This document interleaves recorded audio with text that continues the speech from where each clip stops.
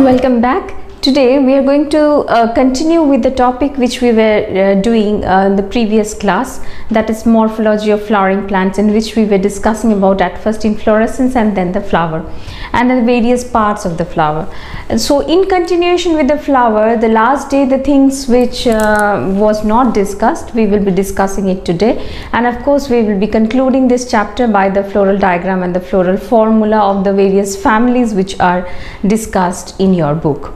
Uh, so um, the flower as we had all come to know about the four whorls and out of which the first two whorls that is the calyx and the corolla forms the non-essential part of the flower whereas the androecium and the gynoecium were considered to be the essential as because they are taking part in the sexual reproduction of the flower. And those flowers which have all these four parts we call them as complete flowers and those who do not have we call them as your incomplete flower. Then we discussed about the bisexual flower and unisexual flower. And also there are two terms more two terms you will find monoecious and dioecious. Monoecious means hermaphrodite that means in the same plant when there are two um, different uh, flowers of the you know that is the male flower and the female flower as we have talked about in case of your um, that is your pumpkin. And uh, the dioecious plants are those plants in which the plant is also separate and they bear the separate uh, flower. That is male flower separately on male plant and female flower separately on the female plant.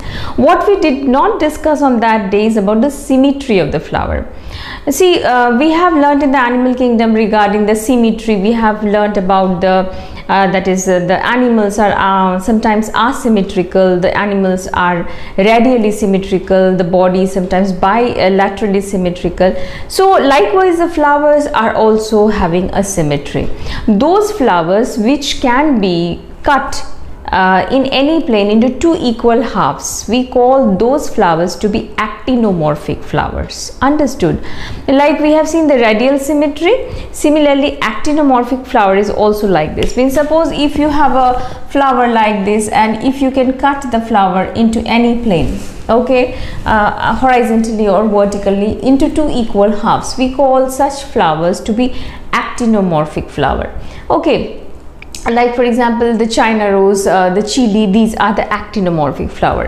And another type of flower which resembles in case of animal we have seen bilateral symmetry. So in case of plants also the flowers are um, divided into two equal halves only from the center. Okay only from the center and the left half of the flower is equals to the right half. But from the middle if you want to cut the flower into two equal halves it won't be into um, divided into two equal halves. So such flowers we call it as your zygomorphic flowers. Okay so um, those flowers uh, especially the one uh, which belongs to that of your papilionidae or leguminaceae family flowers in which we had the standard petal uh, we had the wing petal and the keel petal. In them in this from the center if we draw a horizontal line we are not able to cut the flower into two equal halves. We have to draw a line vertically then only the flower can be divided into two equal halves. So suppose if it is a pea flower okay? So if it is a pea flower like this okay? Suppose like this. So in this case if you just draw a central line like this so it it is not that the uh, upper half is equals to lower half. What you can do is that in this case uh, the pea flower from the center if you draw one axis then the left becomes equals to that of the right. And this type of flower is called as your zygomorphic flower. And actinomorphic flower as I told you it can be cut eh, horizontally also or vertically also into two equal plane. When we write the floral formula for the zygomorphic flower the symbol we are using is percentage. Okay so the zygomorphic flowers uh, symbol is percentage. So if you see the percentage symbol in the floral formula of any family you have to understand that this particular family bears a flower which is zygomorphic. Understood? That means it can be only uh, divided vertically bilaterally symmetrical. Whereas if you see uh, the symbol like this the symbol is also like this. You know circle and the circle is cut into like this uh, half. So this symbol implies actinomorphic flower. So those uh, family plants which have this symbol in their floral formula you will be you can write or in the description you can write that the flower is actinomorphic flower okay? And bisexual flower how you're going to represent is that one circle and at the top of the circle one arrow like this and one uh, plus sign like this. That means the plus represents the female and the arrow represents the male. So since male and female both are present so this symbol stands for the bis uh, bisexual flower. And those flowers which will be having either like this or they will be having like this. So that means it's a female flower or it is a a male flower. Okay so these are monoecious. Okay these are uh, sorry these are dioecious. That means bearing uh, different flowers uh, male flower and female flower uh, separately. And this is uh, monoecious. That means hermaphrodite or you can say bisexual flower having both the male and the female part within the same flower. So these are the symbols which we are going to use it when we uh, write the floral formula. So that was a part actually left yesterday not yesterday i mean to say in the previous class. And also one more thing which I did not discuss is about a bract okay. Now bract is what? Bract is a kind of appendage which is found at the base of the pedicel of a flower. Now i told you the stalk of the flower is known as pedicel. See uh, i had uh, given a video related to the practical the parts of the flower. Uh, in that uh, the stalk of the flower i have mentioned it as petiole. It was wrongly said like that. Uh, after you know editing and after um, uploading it then I noticed that it was uh, being said as your petiole but petiole is the stalk of a leaf. Okay pedicel is the stalk of a flower. So that was a mistake. So if the stalk of the flower that is a pedicel at its base is having certain extensions leaf like appendages then that leaf like appendage is known as your bract understood. So those flowers whose pedicel will have that leaf like appendage at the base of the petiole sorry uh, the base of the pedicel then they will be called as your bracteate flower. And those who do not bear this bract at the base of the pedicel of the flower they are called as your ebracteate. Now bract in the uh, floral formula symbol we are representing it with br so those flowers floral formula those family floral formula which will have this symbol BR you have to blindly understand that the flower is bracteate flower. And if you find the floral formula like this EBR so EBR means ebracteate that means the flower does not bears any kind of bracteate so these were the things which were left in the last class and uh, today I have discussed it. Now let us move on to uh, the next uh, whorls of the flower. We have discussed about the stamens. Uh, they sometimes are adhered so it is called adelphi and um, and then um, uh, they, uh, if they are free they are called polyandrous. And uh, if uh, they are forming two bunches diadelphous if they are forming many branches then uh, bunches then they are called as your polydelphous. And similarly uh, we had also learned about the gynoecium that is the gynoecium can be monocarpellary that means the flower can have a single carpel. The it can be having more than one carpel. Sometimes if the carpels are united then they are carpel carpus. If the carpels are free from each other then they are called as your apocarpous. So these were the terms which we had discussed. Now if you remember when we discussed about the structure of the flower the gynoecium of the flower if you remember let us uh, draw and then it will be easy for you to you know correlate. So if you uh, see a um, typical gynoecium, a gynoecium has the following parts, the stigma, style and the ovary, isn't it? Now uh, we are bothered today uh, um, uh, about ovary, not about the stigma and the style because stigma and the style is only for receiving the pollen and uh, the style for so that the pollen can easily go through and finally it has to reach to the ovary because inside the ovary is the various ovules um, which will be you know fertilized by that of the male gamete to transform themselves into the seed. Why we are concentrating today on the ovaries? Because we have to study about placentation today now what is this placentation? We have heard about this term placentation in terms of you know uh, when we studied about the human reproduction in class 10 that it is a connection intimate connection between uh, the developing embryo and that of the mother through which the nourishment is obtained. Uh, in case of plants also placentation is a kind of you know tissue through which of course uh, the developing uh, ovules get the nourishment. That's true. And it is also an intimate connection between that of the ovules with that of the ovarian wall so what is placentation in case of plants that is it is uh, the uh, kind of tissues parenchymatous tissues which are developed from the ovarian wall. Now here there are various kinds of placentation being uh, dealt with. We are going to discuss them one after another. So if we see any one of the placentation, say for example this one, this outer one indicates ovarian wall and from the inner wall of the ovary certain tissues develop uh, these uh, you know connections with that of the ovules which we call it uh, to be the placenta. And this uh, phenomenon of attachment of the ovules with the ovarian wall is known as your placentation got it. So uh, depending upon the arrangement of the ovules inside the ovarian wall the placentation in case of the angiospermic plants which are been discussed in your NCERT book is of five types. The first one is marginal. Now this is a very common example which we see in case of the pea plant. Pea pods all of us we have seen it.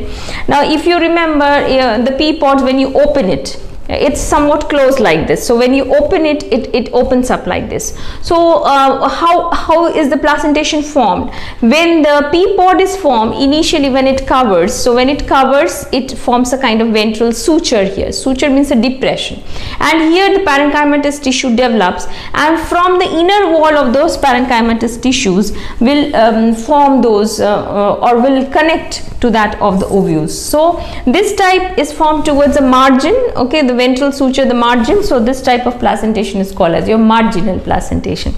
The next is the axile placentation. Now axile placentation word has come from axil okay so we have discussed about um, syncarpous ovary. We have discussed about the apocarpous ovary. So suppose uh, if we have um, flower in which the, there are more than one ovary and they are syncarpous. That means they are adhered or they are united together. So when they are united this is the wall this is the septum we find it. And uh, uh, from the center where the septums are joining with respect to each other the uh, placental tissues develop and uh, they are holding these ovules uh, with them so uh, this this is an axil where the walls are meeting and that is forming a kind of axil uh, kind of angle. So there the formation of the ovules or attachment of the ovules with the placenta is taking place. So we call this type of placentation to be the axile placentation. The next is parietal placentation. Now parietal placentation um, um, uh, is seen in case of mustard. Now parietal placentation the word has come from periphery.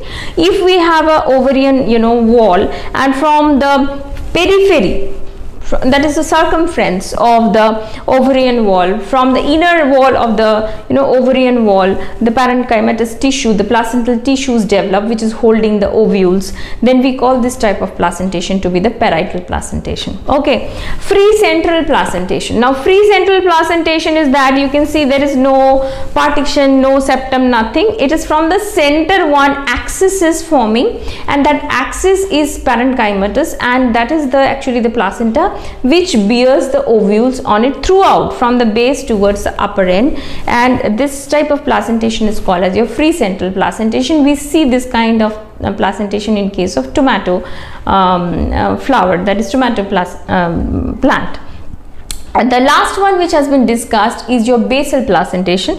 Now basal placentation is strictly uh, the type of placentation which we uh, can find in case of the flowers which have a single um, uh, that is your carpel that is it's not having many carpels in it and each carpel is having only one single ovule uh, from at its base. So from the base the tissues arise and from here this single ovule is formed and this ovule gradually transforms itself into um, the seed. So this type of uh, placentation is called as your basal placentation. So depending upon the arrangement of the ovules with respect to the ovarian wall, there are five types of placentation and the placentation sometimes you know in class 11 we are not studying this but if you take upon biology for your future studies, uh, especially botany, there you will find that evolutionary trend in a plant family is also associated with that of the placentation.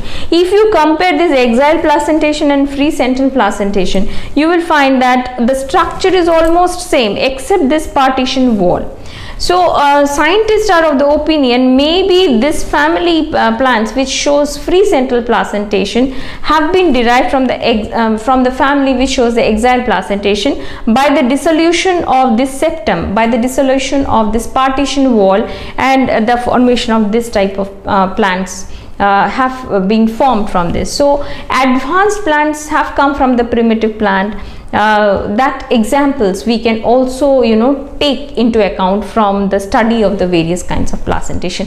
Like in case of animal kingdom if you study the evolution of heart evolution of brain then you will understand that how from the two chambered heart three chambered three and a half chambered and finally four chambered heart came in case of the uh, that is your uh, mammals isn't it? So similarly in case of plants also uh, there are various uh, things which are taken into consideration to understand that how the present day plants have come from the primitive plants or how the present day dicots or the monocots have come from the uh, past uh, dicots or the uh, monocot plants. So this placentation plays a key role in that.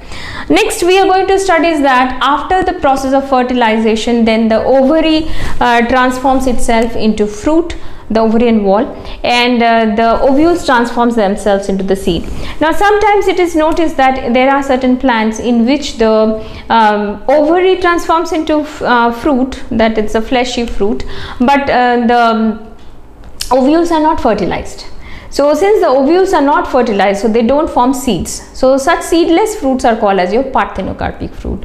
Like for example, seedless banana, seedless grapes. Okay, so these are the examples. And sometimes it is noticed that uh, there are certain plants in which instead of the ovary, the other parts of the flower uh, takes part in the formation of fruit. So we call those fruits to be false fruits. As for example, apple. In case of apple, the thalamus becomes fleshy and juicy and it transforms itself into the fruit. So they have the uh, false fruits have the seeds because they undergo fertilization. Understood. But there the ovary does not transforms itself into the fruit. There uh, the actually the some other parts of the flowers like the calyx or the thalamus they transform themselves into the fruit. So uh, in your book the fruit which has been discussed is uh, uh that is your um, uh, fruit mango and that of your um, coconut which are both considered to be a fruit which is called drupe. Now here the ovarian wall uh, is uh, known as your uh, pericarp. So the pericarp is further divided into um, outermost epicarp uh, middle mesocarp which is flesh in case of mango and uh, inner uh, that is stony endo endocarp but in case of uh, coconut the mesocarp is fibrous which we are just you know uh, throwing it out because that is not the one which we are eating. It is the endosperm the solid endosperm and uh, the water um, part of the endosperm which we are taking in case of our coconut. So that is about the fruit and the various types of fruits. Next is the seed so after fertilization the ovules they are transformed into seeds. Now seeds uh, depending upon the plant's uh, seed that is whether the plant is bearing a seed with two cotyledons or with one cotyledon the plants are classified into you know dicots and monocots. So dicots example best example is gram pea and all. So um, there's a video in which parts of the dicot seeds are being displayed. You can go through it. The link i'm giving in the description box.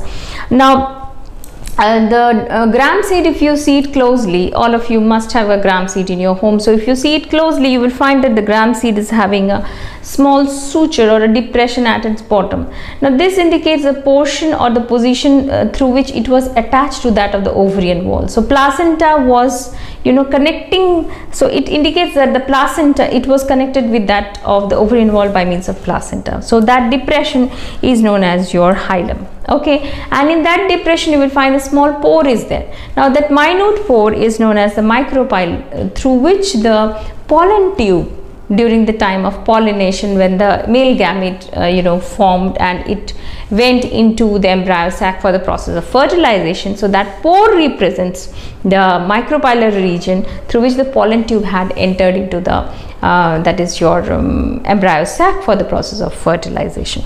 And uh, next uh, the seed is covered by a seed coat which is a protective coat. In uh, most of the cases the, um, the seed coat is divided into two portions that is outer testa and inner tegumen when we soak it into the water the testa imbibes water the seed coat becomes soft and this uh, the embryo the sleeping embryo or the dormant embryo inside it uh, germinates or it comes out. The embryo is attached to that of the cotyledon by means of this embryonal axis. It has two parts. The upper part is called the plumule and the lower part is called the radicle. The plumule is the future shoot of the plant and the radicle is the future root of the plant. Mostly the dicotyledonous seeds are non-endospermic. The mature dicot seeds are non-endospermic but exception is there which is the exception castor seed is the exception which is a endospermic seed. So dicots are non-endospermic but exception is there that is a castor seed which is uh, endospermic. Okay as far as the monocot seeds are concerned they have only single cotyledon. And the best example of monocot seeds is that of wheat or uh, that of maize. So this is a maize seed being drawn. Now in case of the monocot seeds the cotyledon is restricted uh, uh, into one uh, corner of the seed.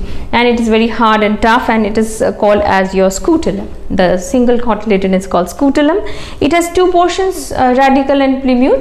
But here the radicle is surrounded by some leafy structure and the plumule is also surrounded by certain leafy foliages and we call them as your coleorhiza and coleoptile.